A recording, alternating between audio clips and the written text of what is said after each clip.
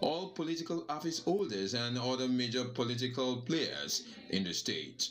Having seen and known the President of the Federal Republic of Nigeria, President Muhammad Buhari, his commitment to this country, his nationalistic disposition, and all the efforts he has put to bring Nigeria to where we are today, it is obvious that at this point, we need to join hands with him to build a Nigeria that we will be proud of.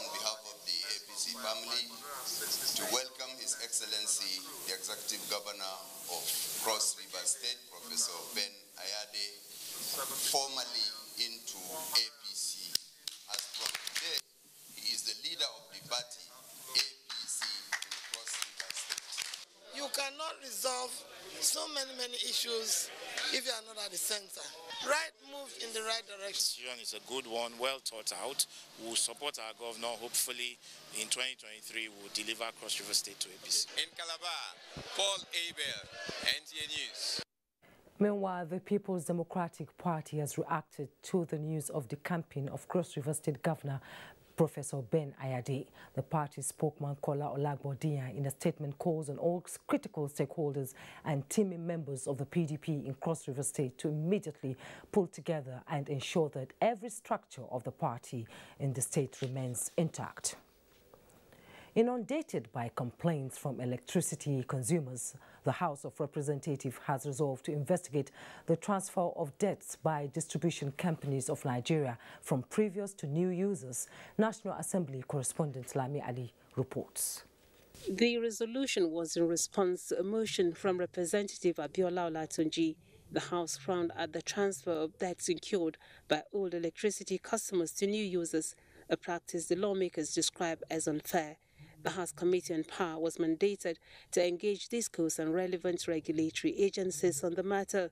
The lawmakers also urged the federal government to direct the Nigeria Electricity Regulatory Commission to suspend the decision to further increase electricity tariff effective June 2021, as moved by Representative Aniekan Umana. NERC, working with distribution companies as the DisCos, has increased electricity tariff five times in 2015 and the letters being on January 1st, 2021.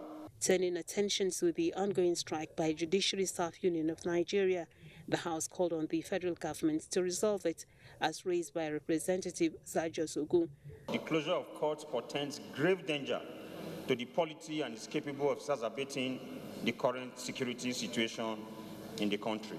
Other considerations at plenary Thursday include second reading of a bill to amend Matrimonial Cause Act from Representative Ubin Najidoka in a bill seeking to reenact the Patents and Designs Act to protect inventions as moved by Representative Taiwo Oluga.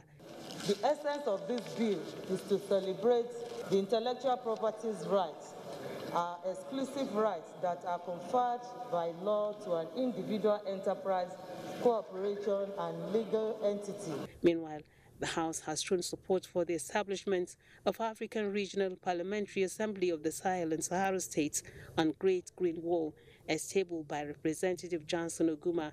Plenary has been adjourned for one week as the House holds a five-day summit on national security commencing Monday next week. From the National Assembly, Lami Ali, NTA News.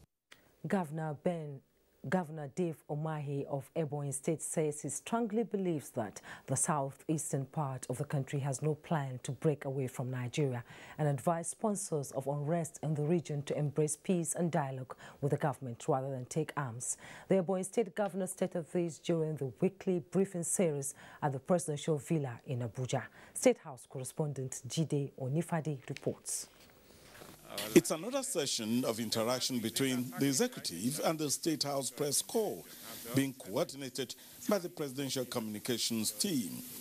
This time, it is the turn of Governor Dave Umahi of Ebonyi State and Chairman Southeast Governors Forum. The security situation in Southeast the governor who highlights the achievements of this administration in the areas of agriculture, health, education, uh, youth and women empowerment, and development of infrastructure, explains that while his government is committed to doing more, without peace there cannot be development, and calls on those that are taking up arms against the government to lay down their arms and embrace dialogue.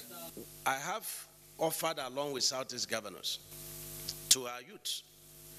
Present your demands in print and hand over to us. Some of them have merits. There's no region in this country today that, you know, do not have one thing or the other against the federal government, you know, against, you know, one region or the other. But we can all sit down to discuss, and that's what we have demanded from our youth, whether band on band. So far you're from Southeast, let us see your demands, let us see your grievances.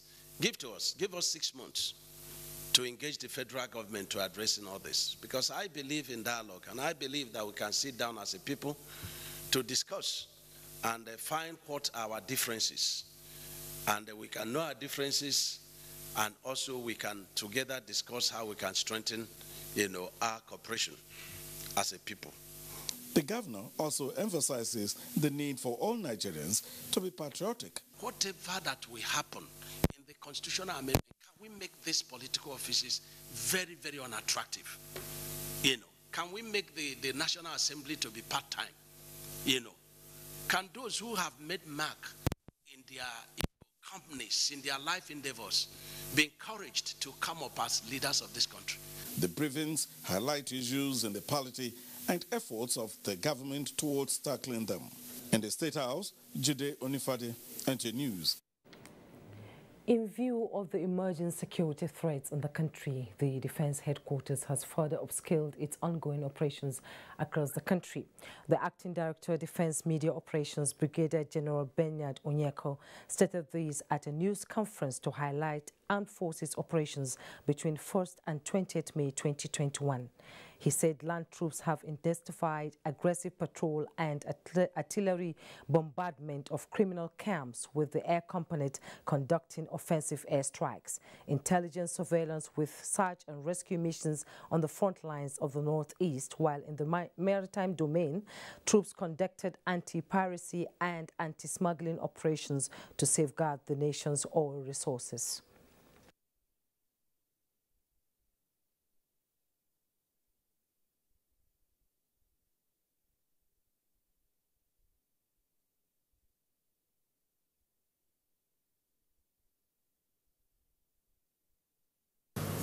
The maritime domain, our troops disrupted smuggling activities, immobilized illegal oil refining sites, arrested some perpetrators. This is the median briefing by the Defense Media Operations since the assumption of office by the current service chiefs. There have been unconfirmed unofficial reports claiming that Boko Haram leader Abubakar Shekau has been killed.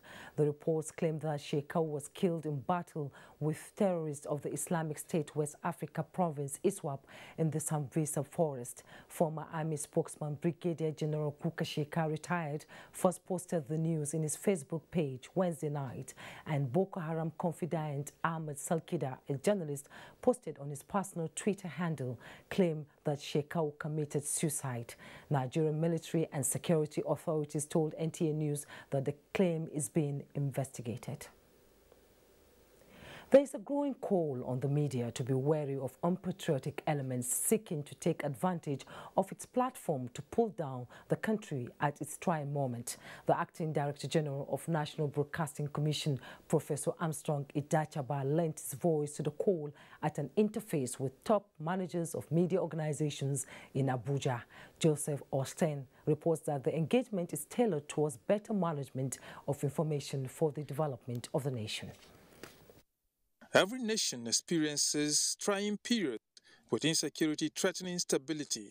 Determined to deploy the media for positive engagement, to douse the overheating of polity, as well as nibbling unpatriotic elements from exploring loopholes, it is in line with this that veterans in the broadcasting industry in Nigeria are cautioning themselves and exchanging ideas on right messages that will serve public interests at the same time take note of national security and sovereignty for development. There is need for mutual appreciation of each other's role.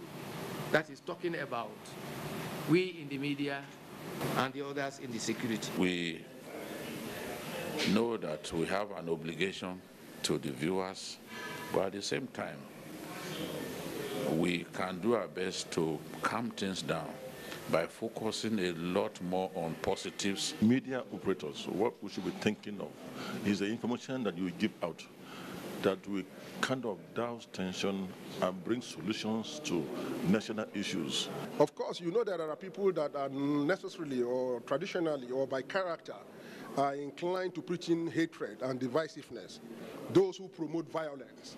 Uh, why would you ordinarily invite those kind of people to come and express venom? Uh, that is counterproductive.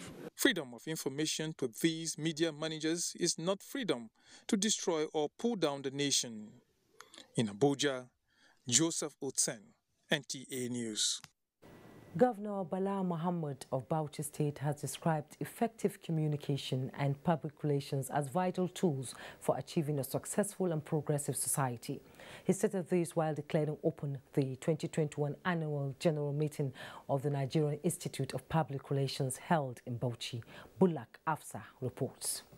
Since the inception of our administration in May 2019, we have shown total commitment to infrastructural development as well as turning around all other sectors of human endeavor. I have the pleasure to declare the 2021 annual general meeting and elections of the Nigerian Institute of Public Relations. Bauchi State, for the first time in the Northeast, hosted the annual general meeting of the Nigerian Institute of Public Relations with members of the institute across the country in attendance.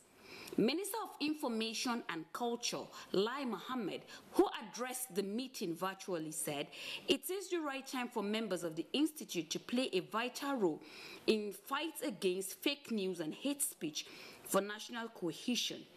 Plateau State Commissioner of Information, Dan Manjang, conveyed a message of Governor Simon Bako Lalong to the meeting.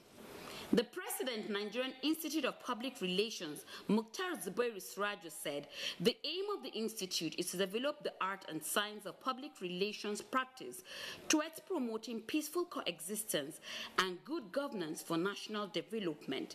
He called on politicians in the country to always consider the public interest and avoid any acts capable of overheating the polity in the interest of peace and unity of the nation. The Nigerian Institute of Public Relations family believes in Nigeria and its continued corporate existence. We believe we are much better off together than staying in bits and pieces. But this must be based on trust and confidence of all of us in one another. Meanwhile, over 20 members of the NIPR were decorated as new fellows of the Institute. In the meantime, registered members have elected officials to lead the Institute for the next two years. In Bauchi, Bulak Afsa, NTA News. Traditional rulers in Osun and Anambra State have offered to repair two INEC offices damaged during the EndSARS protest. INEC Chairman Professor Mahmoud Yakubu stated this during a meeting with resident electoral commissioners in Abuja. Mayor Ogidi reports on this and the current state of the continuous voter registration exercise. The EndSARS protest has ended, but damaged structures still bleeding. INEC offices were also major victims of the protest by the youths. But the elders say, INEC sorry, we will repair the structures, and this excites INEC. Following the vandalization of our offices in Osun State during the EndSARS protest in October last year, the Ikirun community in Ifelodun local government area offered to repair our local government office destroyed during the EndSARS protests. In the same vein, in Nnewi North in Anambra State, the community has also offered to repair our local government office destroyed during the EndSARS protests. The Commission does not take such partnership for granted. Still recovering from the EndSARS saga, attacks from faceless individuals continue on INEC offices, taking a lot out from INEC, but not the smile from the INEC boss, and this will not affect plans of the Commission. I am glad to report that the Commission has virtually completed necessary preparations for the resumption of the continuous voter registration. In the next few days, the Commission will meet to finalize the compilation and coding of polling units and thereafter make the information public. Our focus on Anambra November 6 governorship election remain unshaken. INEC promised. Mayor Ogede, NT News. Borno State Governor Professor Babagana Umara Zulum has said that the third year of his administration will focus on effective service delivery, having put in place new physical structures such as schools and hospitals. The governor stated this at the government house Maiduguri while fielding questions from journalists shortly on arrival from Saudi Arabia after three weeks on Lesser Hajj. Mohammed Goni reports. Professor Babagana Umara who was accorded a rousing welcome by the citizens on his return, highlighted some of the achievements recorded last year, especially in the areas of security, water supply, housing, reconstruction and resettlement, among others, assuring the citizens to expect effective service delivery in all areas, including health and education, through recruitment of manpower. We want to consolidate on the gains that we have achieved so far by ensuring establishment of effective service delivery, which is very critical. Governor Zulum noted that security is the topmost priority of his administration and stressed commitment to ensuring that every part of the state is protected from terror attack, adding that government will not be deterred from its resettlement drive and the closure of some IDPs camp within MMC and Jere by the end of May, adding that the military has already established its presence there.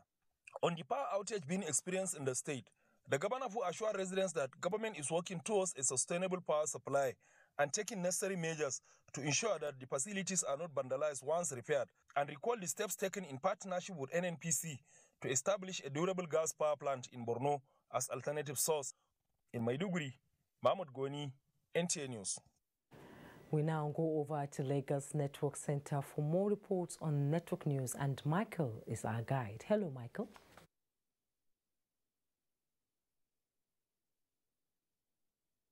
Hello, Jumai. The ever busy Oshodi bus stop in Lagos was thrown into confusion in the early hours of Thursday. Intervention by the Nigerian police and other related authorities has brought calm to the area. The Lagos State Commissioner of Police is also assuring Lagosians that the area is safe and normalcy will be sustained. Imole Ayotokide Ogunfowora brings us an update.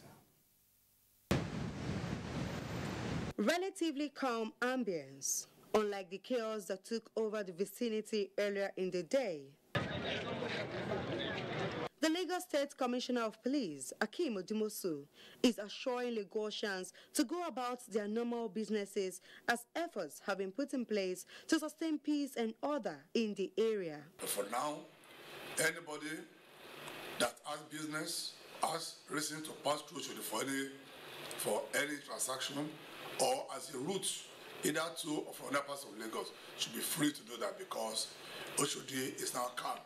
Police is everywhere. According to eyewitnesses' accounts, the earlier fracas at the ever-busy Oshodi bus stop was as a result of the murder of a Nigerian Air Force personnel by hoodlums, popularly referred to as area boys, and the alleged reactions by the Air Force and the military. We just see them this morning, went down from their Ilos bus.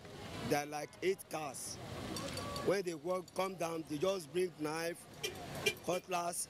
The next thing they put on their face mask, started spoiling all our buses around here. So they chase many people, they injure many people, they even took some people away, some at other. Although many who were affected by the vandalism and violence that occurred are still counting their losses, normalcy has returned to the area, and the police commissioner has warned Lagosians to stay law-abiding and shun actions that could escalate the situation. In Lagos, Imole Ayotokide Ogunfowora, NTA News. Lagos State government has unveiled small capacity buses to replace the operations of motorcycles and tricycles, which have been outlawed in some parts of the metropolis by the 2018 amended state traffic law. Musa Toliat reports that Governor Babajide Sanwo-Olu introduced the bus scheme captured under the Bus Reforms Initiative in Lagos. Governor Babajide Sanwo-Olu, who unveiled the scheme, said the first and last mile bus initiative is targeted at curbing avoidable road crashes, synonymous with operations of commercial motorcycles, popularly known as Okada. He, however, charged the transport unions who have been incorporated into the bus scheme to caution and control motorcycle and tricycle operators under their purview with a view to ensuring the success of the first and last mile bus scheme. Early last year, the state government announced what was in our law by the restriction of commercial motorcycles called Okada in six local governments and nine local council areas, and of course on our major roads. What we are doing, it's about improving and guaranteeing the security of lives and property of our citizens. Meanwhile, security and law enforcement agencies have been repositioned to curb any form of resistance to smooth running of the minibus scheme. Anything that's not going to make the vehicle to be on the road, that's not going to give security back to the drivers and the passengers lines of our own responsibility. So when those issues are, we're already discussing, we already have our plans. Definitely reactions are expected, but we are already prepared in conjunction with other agencies to meet the reaction at his own help. 300 out of the expected 2,000 small capacity buses meant for the first phase of the scheme were unveiled. Officials of the regulatory agency, Lagos Metropolitan Area Transport Authority, hinted that the bus scheme is largely private sector driven and the operations of the scheme will cut across eight zones across the metropolis. In Lagos, Musa Toliad, NTA News. This is NTA Network News. More reports after this break. Please stay tuned. To. Mm. Yeah.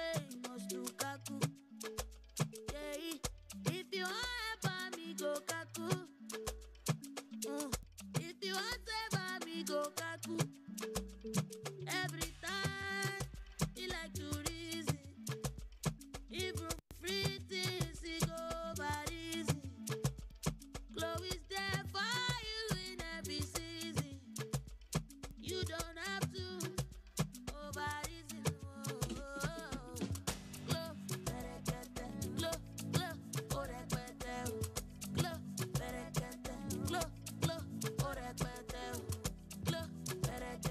Don't have to be a Mr. Kaku when it comes to data. Get a Glo MiFi for 12,000 Naira and get up to 60 gigabytes data free.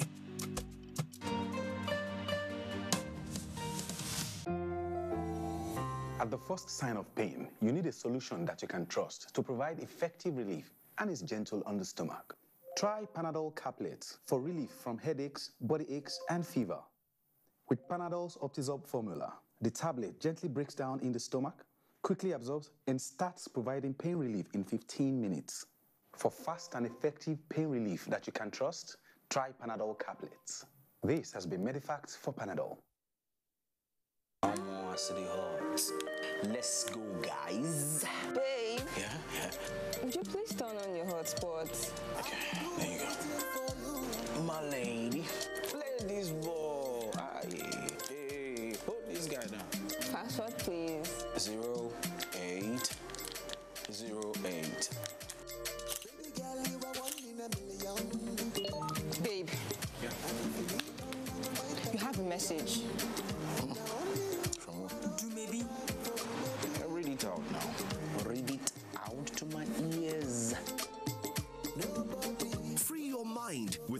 Smart Talk and enjoy calls to all networks at a flat rate of 11 kobo per second. Dial star 315 hash to join. Fine girl. Mm-hmm. Can I have your phone, man?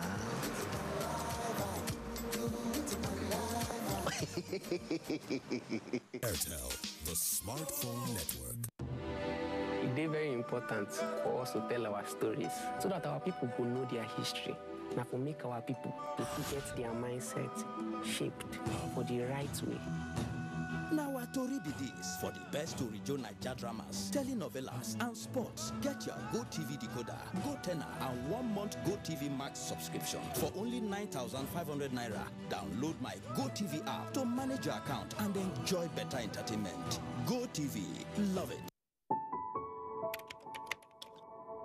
My name is uh, Chikwe Ihekwazu. I lead the Nigeria Center for Disease Control. I'm extremely privileged to have gotten this vaccine today. Uh, really, I accept it really on behalf of all the healthcare workers, public health workers. I've really spent the last 12 months working so incredibly hard on, on this response. And I, I think it um, provides hope you know, this vaccine really provides us an opportunity uh, to reinvigorate ourselves as we sustain the response in Nigeria. So this vaccine provides us a real shot at life. But you know that shot will come into effect when we have most of the population uh, vaccinated. Uh, we have to keep washing our hands, wearing our masks, keeping apart from each other until we have enough people vaccinated in the country, and I'm sure we'll get there.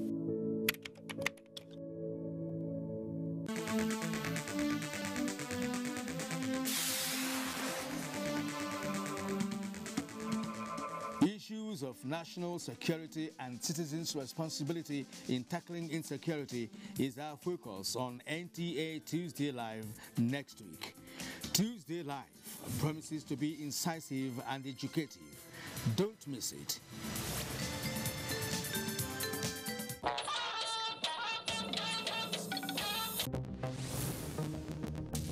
You can get more news and updates on www.nta.ng or follow us on our Twitter handle at NTA News Now. You can also like us on Facebook at www.facebook forward slash NTA Network News and also stay connected and subscribe to our YouTube channel at www.youtube.com forward slash NTA News Online.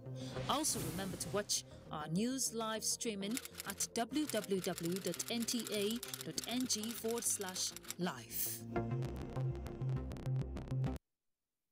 You're welcome back. Despite challenges raised by the pandemic, the Bank of Industry says it recorded a growth of 79.1% in the year ended, thereby declaring its financial standing as strong and resilient while assuring investors of adequate returns on investment. This was made known at the 61st Annual General Meeting of the Bank of Industry in Abuja. Benny Adams reports. Against all odds, the Nigerian banking industry witnessed positive growth with total credit increased to 2.9 trillion naira between January and December 2020 as the industry provided support to businesses. The picture became clearer as the Bank of Industry presented its financial statements for the year ended.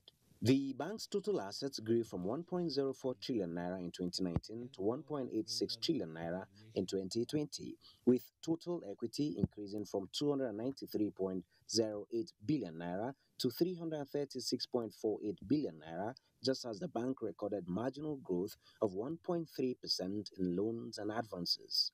Same cannot be said of profit before tax, which fell by 9.6% from 39.34 billion naira to 35.54 billion naira. We have doubled our dividend payment this year. This year, the bank said it is working on broadening strategies focused on business recovery and opportunities in healthcare and ICT. Pharmaceuticals, logistics, food industry, and ICT. These are areas of advantage, and we are going to also capitalize on the AfCFTA. As I'm speaking to you now, we are finalizing arrangements to go to the Eurobond market to raise additional money. Why? To further give the bank more ammunition to be able to help the industrial sector in 2021. The governing board of the bank approved dividend of 4.6 billion naira to be shared and also approved the appointment of Adewale Al-Bakari into the governing board. Benny Adams, NTA News. The Industrial Training Fund, ITF, is partnering with the Ministry of Industry, Trade and Investment to reduce unemployment by promoting sustainable solutions through skill acquisition and development. To this end, the ITF has graduated another batch of trainees under the National Industrial Skill Development Program in Abuja. Musa Abubakar reports. The six weeks of intensive training in different skills acquisition has come to an end for the 2020 National Industrial Skills Development Program trainees. Akuna Roof as one of the many trainees. Like many graduates, she had no skills before she enrolled for the program. Actually, you know, uh, universities, they teach us more tutorial, um, tutorial. I never had the chance to really practice it practically until I got this opportunity. The training in fashion design, cosmetology, and ICT, amongst other areas, is to equip youths with technical skills for job and wealth creation. This graduation is a continuation of our drive to ensure that as many as possible are equipped with the technical skills for them to earn a living. To further complement this drive, the federal government recently entered into partnership with Microsoft Corporation, an American multinational technology company, to accelerate the nation's efforts in deepening the digital economy. With the starter parks presented to the trainees here, Akuna Roof and her fellow trainees said they will soon realize their dreams of becoming business owners and hopefully employers of labor. In Abuja, I am Musa Ubakar, NTA News. Communities in Rivers State are set to witness exponential growth as the Nigeria Liquefied Natural Gas Limited launches the first phase of its Global Memorandum of Understanding. This initiative is expected to give communities in Rivers State leverage over developmental projects and improve the socio-economic lives of the citizenry. Nkiru Onyejese completes the report. The communities covered by the first phase of the Global Memorandum of Understanding are Rumuji, Ubeta, and Obumnabali. The Global Memorandum of Understanding will put the areas in the driving seat of their development with the active support of the Nigerian Liquefied Natural Gas, NLNG. The IOCs, I would say, are not having the best of relationship with the communities, but LNG is uh, better LNG, I must say they're better. But I like I advise them they they can do better. They can you know improve on their relationship with the community. This is the first time we've entered the GMOU with Nigerian LNG, and um, we see it as something that will be beneficial to us. The Commissioner for Chieftaincy and Community Affairs and the General Manager, External Relations and Sustainable Development say the initiative will continue to help change the narrative on sustainable growth in the Niger Delta region and in Nigeria as a whole. We commend the communities because you have peacefully conducted yourselves and that is how come we're having this kind of peaceful ceremony today. Well, thank you so much. If things go on like this, there will be less rancor there will be more development in our communities. GMOU signed today is for five years, and we look forward to a transformation in these three communities, driven by the communities themselves, for the communities, but with Nigeria LNG supporting with building of capacity to ensure that these things happen. High point of the event was the inauguration of the Board of Trustees from the three clusters comprising chiefs, land-owning families, among others. In Port Harcourt, Nkiru Onyejese, NTA News.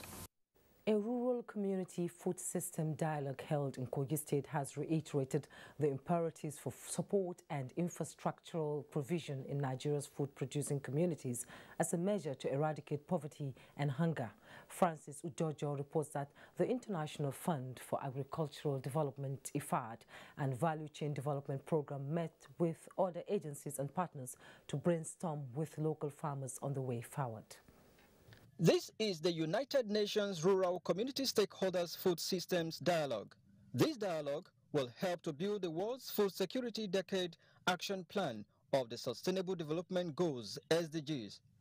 Adogo in Ajaokuta local government area of Kogi State, being an agrarian community, has been made a pilot to other selected local government areas. The problem we are facing in the farm is that, you see, chemical is being invented to help the farmer. But now it's no more helping the farmer because they are fake ones. We need loan to use to farm. The challenge we are facing here is about the herdsmen. They are destroying our crops. The International Food for Agricultural Development, IFAD, is expected to come in while data collected at the course of the dialogue will be the basis for the United Nations World System Policy to be implemented by the Sustainable Development Goals. Some crops are going into extinction. Locust beans is going into extinction.